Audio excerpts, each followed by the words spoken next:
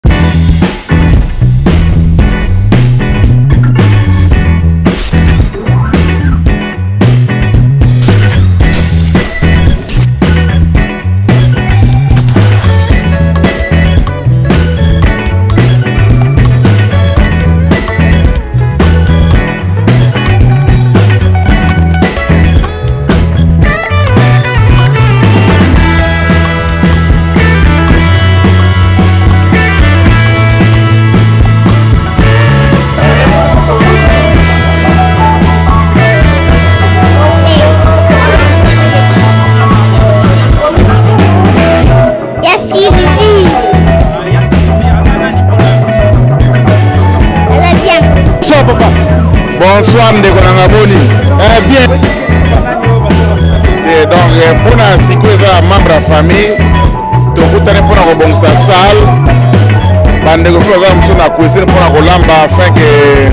makambo nyonso toleka bien lobi donc ezaka na cadre ya préparatif ah, merci papa donc eh, la série continue bonsoir ah, c'est rachel oui. euh, naye awa na salle mpo namoni mouvement eleki mingi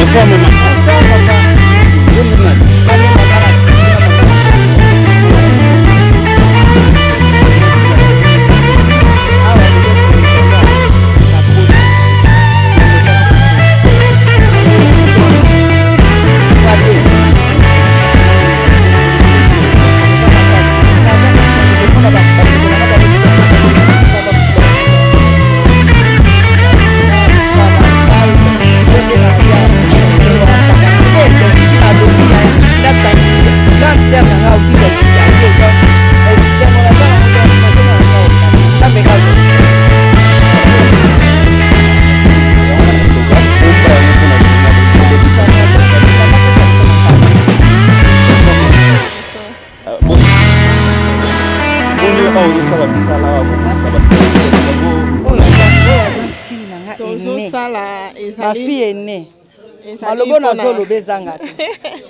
ezali mpo na petite sœur na ngai sylvie moto azobala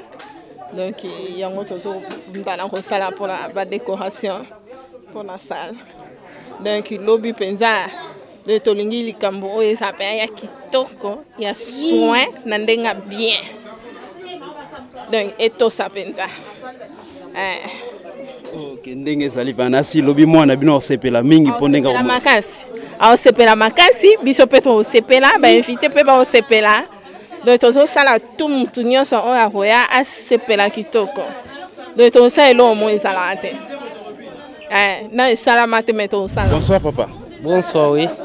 kombono nani kombo nanga frère andré ah, frère andré boni bien Eh, nakuti yo ah, lelo naye natuna okokabola esengo lelo nde namoni bamama miso batondisami na esengo mpo na yo olobi nini mo nga nakolobaka donc félicitation na likambo oyo ezosalama lelo kua se basala présentation déjà kala eleki mpe une année eh, demi mais lelo baréalise mpenza mokolo yango donc eza esengo mingi na famille ndenge tosangani awa biso nyonso kwa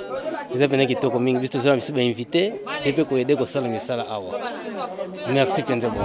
eh, bazofilme toyebana banda kala bazofilme eh, oyo avant eh, silvia botama biso tozalaka déjà ah oyo mama na sylvie oyo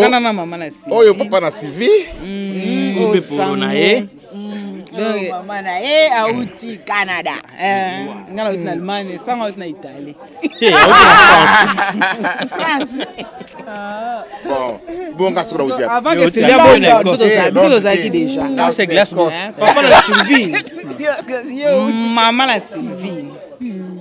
biso na bango tokola esika moko tozoloba awa interview likambo nini boye biso nde tozala biso nyonso towana esenga yango biso tozali awa eh, mpo tosengo eleki biso na motobiso eh, bakomi kobala esengo eleki na motema yango wana mpo toya kaka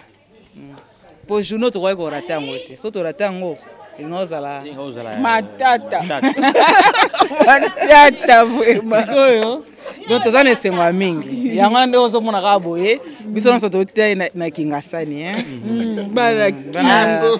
kotoa na association ya saint mark sango na bango ya saint mark sango ya saint mark ye sikoyo nani nayeba bakombo na bino ah. Ah.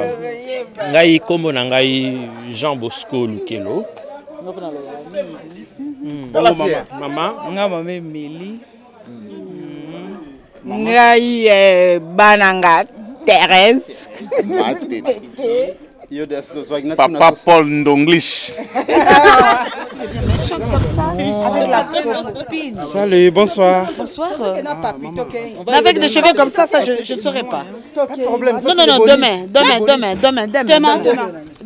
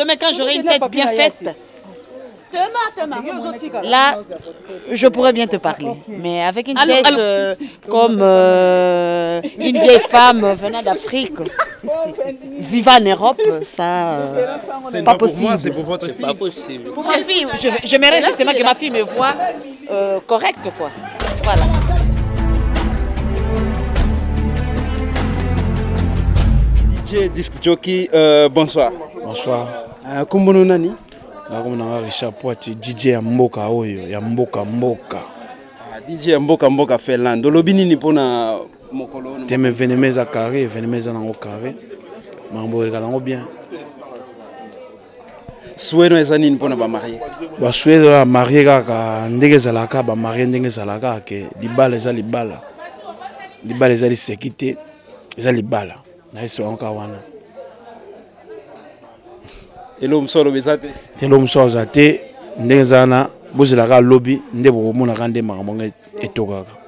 ok merci totoyoka dj alobi donc euh, le reste lobi tobomba yango mpona lobi ok kitoko à suivre bay bonsoir papa bonsoir euh, nani nayeba yango bongisi nini ebongami lelo bon lobi mwa commentaire ya te ya lobi kaka tota ndenge esalama lobi mwana azobala Ba papa basi bayaki on lobi kaka. Bonsoir maman. Bonsoir papa. Ah, yango koyebisa nga likambo yango ezoleka. Ah papa taya toya mpo na fete ya mwana na biso Sylvie na mama oyo tozolamba yango eza mpo na fete ya mariage na mwana na nga Sylvie na papa Anderson. Eh. Oh famille monene papa omoni biso nde bamama totondi awa danger papa ezosalema mpenza ya danger makosa moko ya somo ya kitoko vraiment mm. servero olingi oswete nini mpo na bamarie na journal na swete bango bon mariage tokumisa nzambe noyedeka na ndenge ya kimia na esengo bato basepela bamonaki te en tout cas felande bato bavandaka na felande felande eza likolo tele tozalaka na scandinavie likolo toza mpe makoso kaka beka likolo hey! ouais. merci mama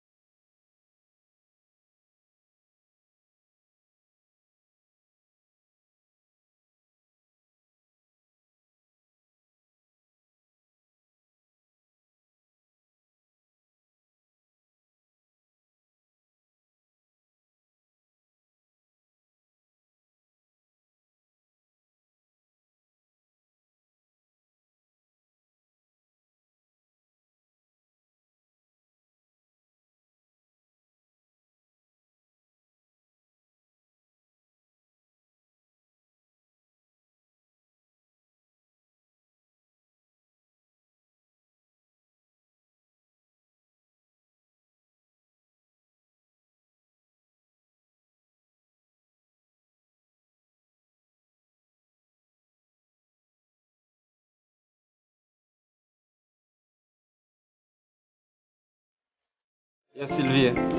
loba na olika omona journal elo lokola maroshe